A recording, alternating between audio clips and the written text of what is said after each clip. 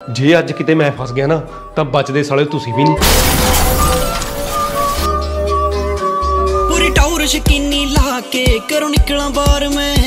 ਮੇਰੀ ਕੱਲੀ ਕੱਲੀ ਸਹੇਲੀ ਦਾ ਰੱਖਦਾ ਖਿਆਲ ਮੈਂ। ਉਹ ਜਿਹੜੇ ਸਹੇਲੀ ਲੈ ਕੇ ਦਊਗੀ ਉਹੀ ਕੱਪੜੇ ਪਾਉਂਗਾ ਉਹ ਜੱਗੀ ਕਿੱਦਾਂ ਬ్రో ਕਰ ਕਦਣ ਉਹ ਤੇਰਾ ਦਿਮਾਗ ਠੀਕ ਆ? ਉਹ ਤਾਂ ਭਰਜਾਈ ਪੁੱਛਦੀ ਸੀ। ਮੈਂ ਤਾਂ ਅੰਦਰ ਬੈਠਾ ਤੇਰੀ ਭਰਜਾਈ ਨਾਲ। ਚੱਲ ਫੋਨ ਰੱਖ। ਆਓ ਇੱਥੇ ਹੱਥ ਨਹੀਂ ਆਉਣਾ ਕਿਸੇ ਦੇ ਜੱਟ ਕੈਨੇਡਾ ਜਾਊਗਾ। ਇੱਥੇ ਹੱਥ ਨਹੀਂ ਆਉਣਾ ਕਿਸੇ ਦੇ ਜੱਟ ਕੈਨੇਡਾ ਜਾਊਗਾ। ਇੱਥੇ ਹੱਥ ਨਹੀਂ ਆਉਣਾ ਕਿਸੇ ਦੇ ਜੱਟ ਕੈਨੇਡਾ ਜਾਊਗਾ। ਓਏ ਉਹ ਤਾਂ ਤੁਹਾਡੀ ਮਾਂ ਇੱਥੇ ਆ ਗਈ। ਬਾਈ ਬਣ ਕੇ ਮੈਨੂੰ ਲੁਕੋ ਲਓ ਯਾਰ ਬਚਾ ਲਓ ਮੈਨੂੰ। ਉਹ ਤੂੰ ਐ ਕਰ ਸਾਡੇ ਕਮਰੇ 'ਚ ਆ ਕੇ ਲੁਕ ਜਾ ਜਾ।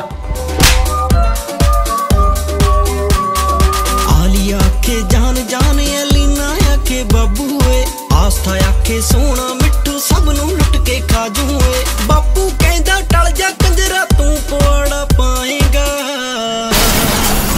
ਏ ਮਾਤਾ ਰਾਣੀ ਕਰ ਕਿਰਪਾ ਭੇਜ ਕੋਈ ਫਰਿਸ਼ਤਾ। ਆਓ ਇੱਥੇ ਹੱਥ ਨਹੀਂ ਆਉਣਾ ਕਿਸੇ ਦੇ ਜੱਟ ਕੈਨੇਡਾ ਜਾਊਗਾ। ਇੱਥੇ ਹੱਥ ਨਹੀਂ ਆਉਣਾ ਕਿਸੇ ਦੇ ਜੱਟ ਕੈਨੇਡਾ ਜਾਊਗਾ। ਇੱਥੇ ਹੱਥ ਨਹੀਂ ਆਉਣਾ ਕਿਸੇ ਦੇ ਜੱਟ ਕੈਨੇਡਾ ਇਹਦਾ ਮਤਲਬ ਸਾਡਾ ਵਿਆਹ ਛੇਤੀ ਹੋ ਜਾਣਾ?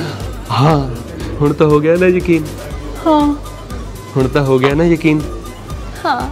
ਹੁਣ ਤਾਂ ਹੋ ਗਿਆ ਨਾ ਮੇਰੇ ਤੇ ਯਕੀਨ। ਹੂੰ।